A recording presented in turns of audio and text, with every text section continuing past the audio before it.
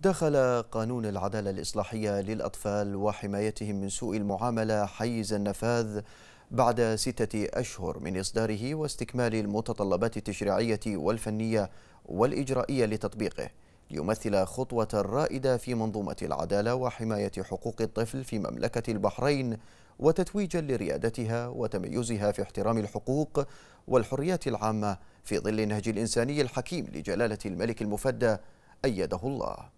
وحول هذا الموضوع معنا عبر الهاتف السيد أحمد الفاضل وكيل نيابة في نيابة الأسرة والطفل.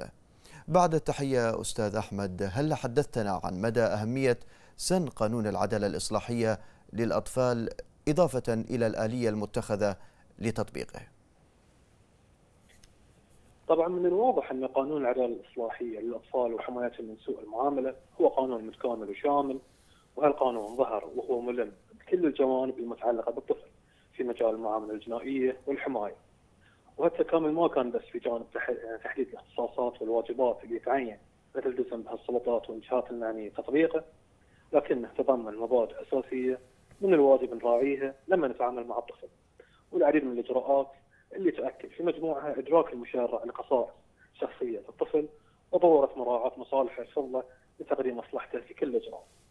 فمصلحة الطفل المادية والمعنوية لها الأولوية لما يتم إصدار الأحكام والأوامر والقرارات وكل هذه كان متفق مع أحكام المعاهدات الدولية المنضمه لها المملكة وبالأخص اتفاقية الأمم المتحدة لحقوق الطفل.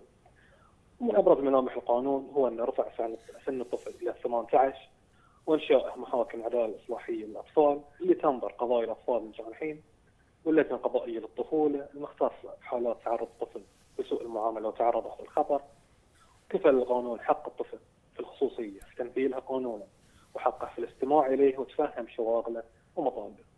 والقانون أيضا ما يقيم المسؤولية الجنائية في حق الطفل اللي ما تجاوز سن ال 15 ومعناته الشيء إنه ما تصدر عقوبة على أي طفل ما تجاوز السن ولكن تصدر عليه تدابير هدفها رعايته وتوجيهه وإرشاده لتقويم سلوكه وإدماجه في إسرته ومجتمعه.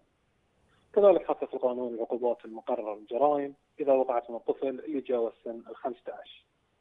طبعا بالنسبة حق آلية تطبيق القانون لازم أنوه أن أول ما صدر القانون بادرت النيابة العامة بالاستعداد لتطبيقه فاصدر سعادة الدكتور علي بن فضل أبو علي النائب العام قرارات تنظيمية منها اللي يتعلق بإعادة تنظيم اختصاصات نيابة الأسرة والطفل وإنشاء مكتب بهذه النيابة هو مكتب تنفيذ والرعاية اللاحقة واختصاصاته متابعة تنفيذ الأحكام والاوامر الصادرة من محكمة العدالة الإصلاحية واللجنه القضائيه للطفوله واللي تم انشائها بموجب هذا القانون. وتم دعم وتعزيز منظومة الرعاية اللاحقه للطفل بالتنسيق مع الجهات ذات الصلة وكل ما يكفل المصالح الفضلة للطفل. وتم إنشاء نظام إلكتروني للمكتب يتم تقييد فيه الأحكام والأوامر والقرارات وكل الاجراءات اللي يتم اتخاذها لتنفيذها. أصدر سعادة النائب توجيهات الكتابية لأعضاء النيابة بالإجراءات الواجب اتباعها للطفل عند معاملته جنائيا أو عند تعرضه للخطر أو لحالة من حالات سوء المعاملة. وأوجه المصالح المتعين مراعاتها سواء من الناحية الاجتماعية أو الصحية وأهمية وكيفية التنسيق مع مركز حماية الطفل والتنبيه بسرعة إنجاز التحقيقات، تصرف في القضايا الخاصة بالطفل، وإصدار القرارات الميسرة لتنفيذ الإجراءات العاجلة اللي اتخذها مركز حماية الطفل في حالة الخطر المحدق بالطفل. من ناحية ثانية نظمت النيابة العامة ورش عمل شارك فيها خبراء دوليين ومنتسبي الجهات المعنية بتطبيق القانون قرارات تدارس القانون والتعرف على التطبيقات المثلى وأفضل الممارسات الدولية وأوجه التعاون والتنسيق بين الجهات ذات الصلة. في مقابل استحداث النيابة العامة أصدر المجلس الأعلى للقضاء ووزارة وزارة العدل والشؤون الإسلامية والأوقاف القرارات التنظيمية لتطبيق القانون بحيث اكتملت المنظومة للعمل بالقانون من قبل ما يبتدي سريان. طبعا كلامي كان باختصار وإحنا نعتبر القانون بالمبادئ والأحكام اللي اشتمل عليها واللي هدفها مصالح الطفل تتويج بجهود المملكة التشريعية والمؤسسية في مجال رعاية الطفل ومراعاة حقوقه.